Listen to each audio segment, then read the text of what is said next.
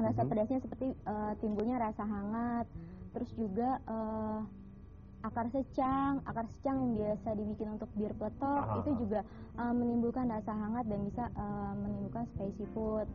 Tapi kalau untuk rasa pedas sendiri, apakah itu hanya berdasarkan pada eh, rasa hangat yang dihasilkan dari sebuah bumbu dapur, atau lebih kepada ketika mulut kita ini mulai merasa sesuatu kayak terbakar gitu? Eh, datang. Ini yang bikin terbakar.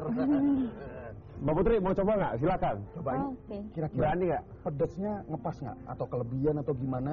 Dia udah kasih kesempatan nih Mbak Putri. Ya, lebih buat kesehatan. Siapa tahu kan ada yang over. Oh, iya. Silakan. Berani nggak? Oke. Kebetulan saya suka pedas. Pagi-pagi. Iya. Tidak masalah. Chef, kayak mulai berasa ada yang aneh. Jarang makan pagi. Pedes. Ya, mungkin ya dagingnya aja. Ngeliat Chef dan Putri kayaknya udah cocok ya. Satu megangin piring. Duh, Oke. perhatian Iya. sekali. Bagaimana hasilnya? Wah, ini silahkan kalau masih mau pengen lagi nih. Nah, eh, Kalau mau minum silakan minum. silahkan dimakan. Oh iya. Tapi ya balik lagi tadi eh, kita mau kembali. Saya kembali dulu. Oke, sip. Jadi silahkan dicoba lagi makanan kita Oke, berdua sama thank Evan. you. Thank you. Nah, bagaimana balik tadi soal itu? Apakah hanya berdasarkan cabai aja atau sensasi yang ada di lidah tadi? Eh, di dalam cabai itu ada zat yang namanya capsaicin. Capsaicin itu yang menimbulkan rasa dari pedas. Hmm. Jadi eh, cabai itu selain mengandung vitamin C, dia juga mengandung zat yang namanya capsaicin yang menghasilkan eh, stimulan Ah. eh, yang bekerja di dalam tubuh. Tapi apakah dengan uh, capsaicin ini hanya terdapat pada cabai saja? Apakah lada hitam kan itu juga termasuk salah satu yang pedas, lada putih gitu. Kemudian juga uh, jahe. Apakah juga Iya. ada capsaicin juga di dalamnya?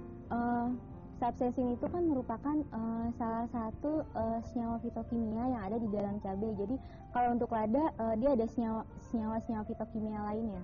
Gitu. Jadi gitu. eh, eh, itu semacam pangan fungsional yang dia akan menghasilkan eh, senyawa fitokimia yang apabila dikonsumsi oleh tubuh kita eh, itu akan eh, meningkatkan eh, derajat kesehatan setiap individu.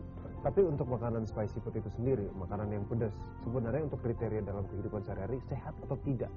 Karena based on my experience ya, Hmm. saya pernah kemarin makan bebek asap tiga hari berturut-turut dengan sambal yang luar biasa pedas.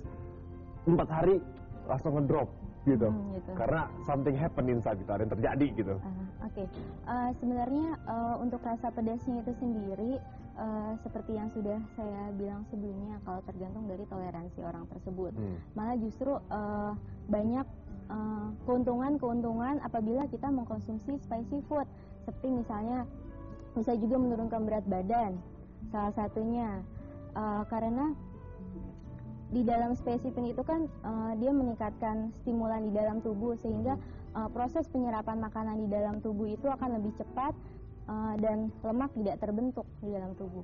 Tapi justru bukannya kalau kita makan spicy food misalnya, ya, Oke, b- bicara mengenai pengalaman aja. Iya. Sekali kita makan makanan yang pedas, pasti pengen nambah lagi makanan itu kan? Mm-mm. Nah, asumsi bahwa dengan spicy food bisa mengurangi yang namanya berat badan, apakah ini bukan menjadi sesuatu yang kontroversial gitu?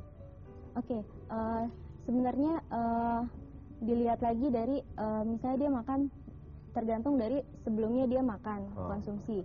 Eh, kalau emang habitnya dia senang sambal, Mhm. eh,